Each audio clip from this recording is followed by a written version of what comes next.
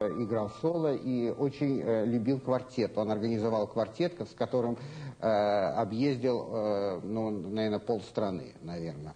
Вот. И поэтому звуки квартета, квартет репетировали вот в той комнате, в другой. И я всегда приходил на эти репетиции квартета, играл соло и очень э, любил квартет. Он организовал квартет, с которым объездил, э, ну, наверное, полстраны, наверное.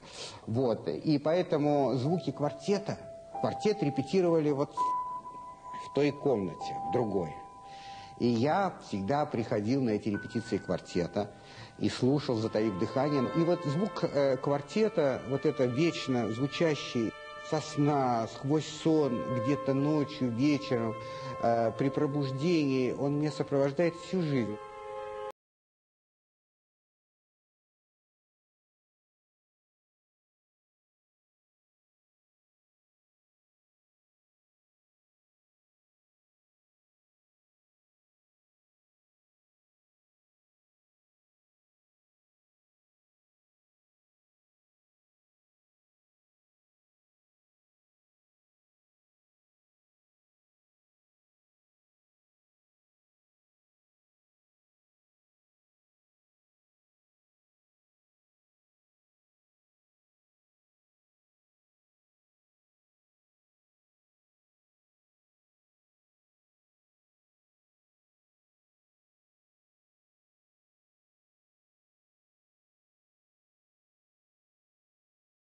Моя матушка, музычка дивная, она 45 выпусков э, в специальной музыкальной школе десятилетки, э, ее ученики.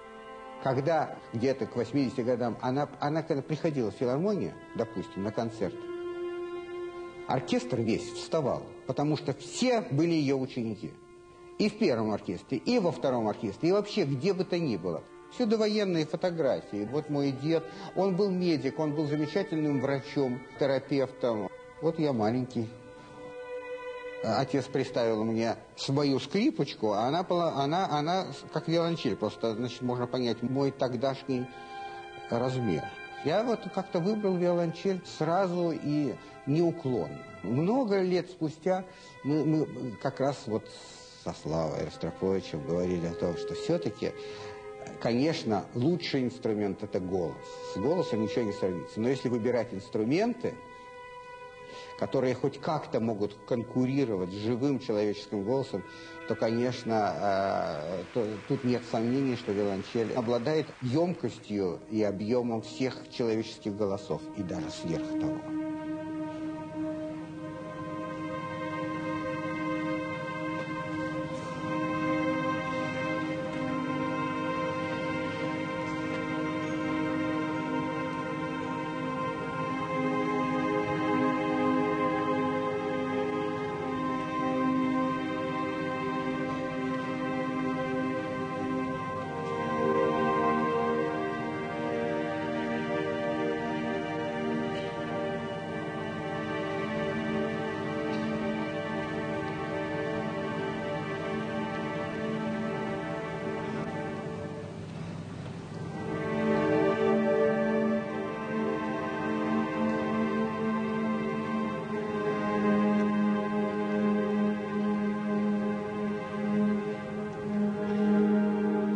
Музыка едина. Она не принадлежит времени. Меняется только язык.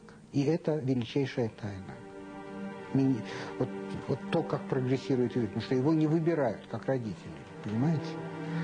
И получается такая история, что язык разный, а суть одна и та же. И если ты находишься в диалоге с сутью, с, с, с тем таинством, которое вот мы с вами ходили, так, бродили вокруг определения музыки. Этого никто определить до конца не может. Каждый будет говорить немножечко по-другому. Это тайна, которая нам одна из тайн, которых, с которыми мы рождены.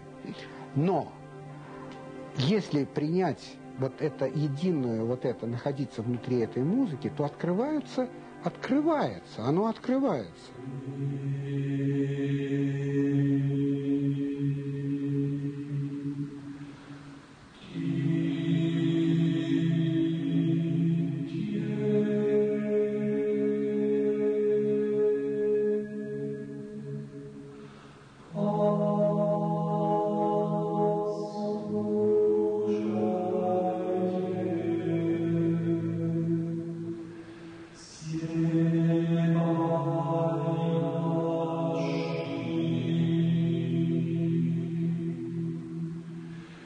Я был первым после Шостаковича исполнителем э, виолончельного концерта, первого виолончельного концерта Шостаковича, когда, когда еще не было, э, когда еще не, было, не было ни партитуры, а ничего, я выучил это по, по магнитофонной записи, на слух. А мой педагог виолончельный, Эммануил Григорьевич Фишман, он воспитал целую плеяду замечательных музыкантов. Но вот я у него тоже не посчастливилось учиться. И он меня отдал Славе. И Слава меня взял. И хотели они сделать из меня большую, большую виолончельную звезду. Но они не знали, что тогда уже я ничего такого не хотел и не мог. Это уже было по инерции. А причина была очень показательная. Говорит, шеф, а ты играл концерт Дворжика? Я говорю, нет. Вот. Значит так, я сегодня уезжаю, значит так, четверг, пятница, суббота, воскресенье я приезжаю, вот, пожалуйста, воскресенье, вот, ты мне его выучи к воскресенью.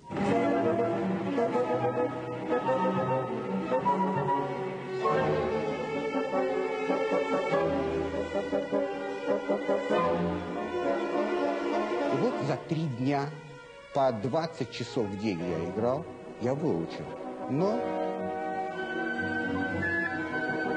переиграл руку до, до такой степени, что потом вообще ходить не мог. У меня просто висела плетью рука. А вот, сквозь кровавые слезы. Ну, вот так вот был повод. Я ушел, но к тому моменту я уже, я уже был не виолончелистом. Я уже тогда был совсем, я уже был совсем в другой ситуации. Поперек всех предсказуемых э, сюжетов.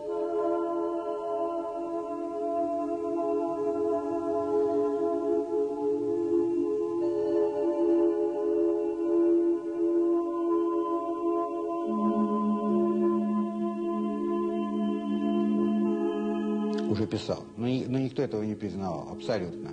Я помню, в Московской консерватории был такой замечательный, очень хороший, совсем плохая. Но в вашем случае просто нечего оценивать.